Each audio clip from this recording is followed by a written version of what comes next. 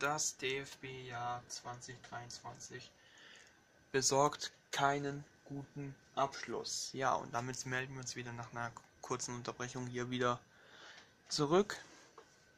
Und zwar geht es jetzt noch einmal in der kurzen Übersicht um alle Länderspielergebnisse aus diesem Jahr. Und mitten im Jahr war ja das Jubiläumsspiel, also die deutsche Mannschaft ist jetzt auch unter dem äh, vierstelligen Länderspielteams, sage ich mal so. Und das Länderspieljahr ist im März gestartet mit dem Sieg gegen Peru 2 zu 0. Denkt man sich, okay, der Start ist schon mal gut. Da war ja noch Hansi Flick der Coach. Aber dann die Niederlage gegen Belgien 2 zu 3. Das sah alles andere als gut aus. Dann im Jubiläumsspiel, ihr seht ja, es ist ja mit Gold umrahmt, weil es das tausendste Länderspiel war. Gegen die Ukraine 3 zu 3 bei ähm, einem richtigen coolen, äh, bei, bei einem richtig guten Sommerwetter, was da war. Also bei uns in der Schule war auch richtig gutes Sommerwetter. Wir hatten ja Training fürs Fußballturnier gehabt, kann ich mich noch erinnern. Dann die Niederlage gegen Polen und die Niederlage gegen Kolumbien auch noch dazu. Das waren echt unnötige Niederlagen und das war auch echt eine schlechte Performance, eine schlechte Leistung bei beiden Spielen. Es wurde dann nach der Sommerpause, ich gehe mal ein bisschen nach unten, nach der Sommerpause wurde es nicht besser, ihr seht es ja. Nach der Sommerpause kassierte man noch eine deftige Niederlage gegen den äh, WM-Gegner von letzten Jahr, gegen Japan 1 zu 4.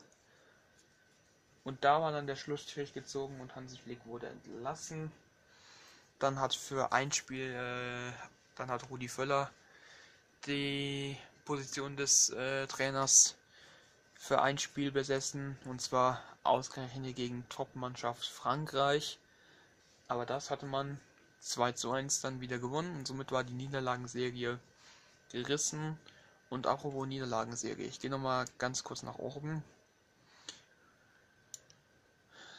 Da habe ich gesehen, so schlecht, drei Niederlagen, drei Niederlagen in Serie, war man irgendwie seit gefühlt fast 40 Jahren nicht mehr, habe ich gesehen. Das heißt, so 1985 hatte man schon mal so eine schlechte Bilanz in Serie gehabt. Dann gehen wir wieder nach unten. Dann trat man im Oktober in der USA-Reise an. Und da waren dann die ersten Spiele des Ex-Bayern-Trainers Julian Nagelsmann, der bis zur Heim-EM 24 Trainer bleibt. Mal gucken, wie es danach weitergeht. Und mal gucken, wie Deutschland bei der eigenen Heim-WM abschneiden wird. 3 zu 1 gewann man dann gegen WM-Gegner von 2014 gegen die USA. Dann das Spiel gegen den WM-Gegner aus 2018 gegen Mexiko war man schon ein bisschen wieder am Schwächeln, glaube ich. 2 zu 2 dann. Da denkt man noch, okay, es ist noch keine Niederlage, also noch kann da was gehen.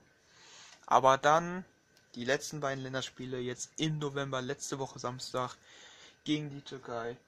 2 zu 3 verloren. Ich habe es mir nicht angeguckt, aber ich dachte mir schon mal vom Ergebnis her, naja, das könnte ja wieder super werden.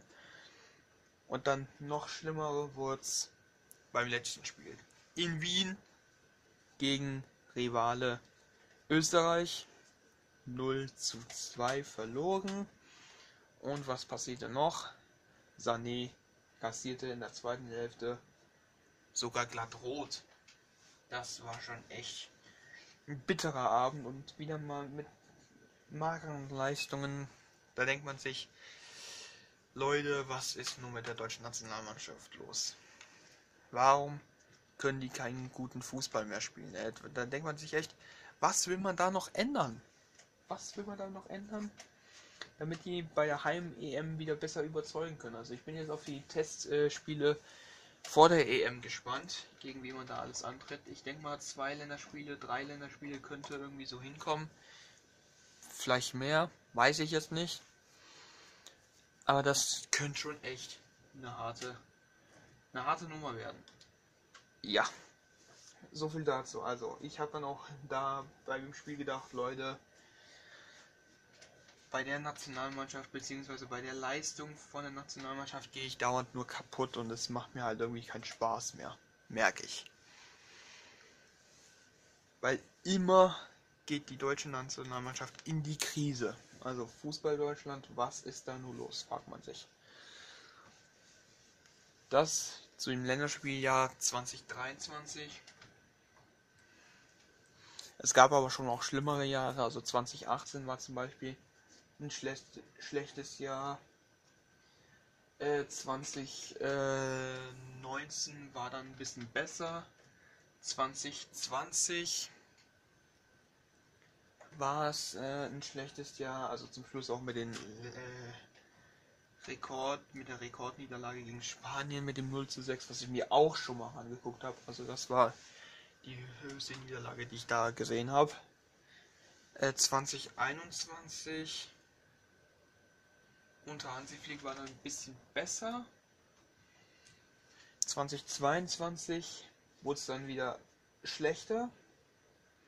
Und 2023 wohl auch nicht besser. Also, man sieht, es gibt, es gab lange kein Jahr mehr ohne Niederlage. Also 2017 war das letzte Jahr, wo man wirklich eine lange ungeschlagene Serie hatte. Also so 2016 nach der EM in Frankreich bis 20 bis Ende 2017 beziehungsweise noch bis an äh, bis März 2018 bis zum einen, äh, bis zum ersten Länderspiel von 2018 hat man echt eine lange lange ungeschlagene Serie gehabt. Also da war wirklich noch eine Top Mannschaft zu sehen. Aber wo das jetzt geblieben ist weiß man überhaupt nicht. Naja ich bin auf jeden Fall gespannt wie das Jahr 24 vor der EM wird ich bin vor allem gespannt, äh, wie die Gruppenauslosung ist. Es stehen jetzt schon 21 von 24 Teams fest. Drei Teams werden noch über die Playoffs im März entscheiden, aber Anfang, ich glaube nächsten Samstag gibt es ja schon die EM-Auslosung. Und darüber werde ich dann auch ein Video machen, also wie die Gruppen sind. Und wer noch alles äh, in der EM aus den Playoffs folgen könnte.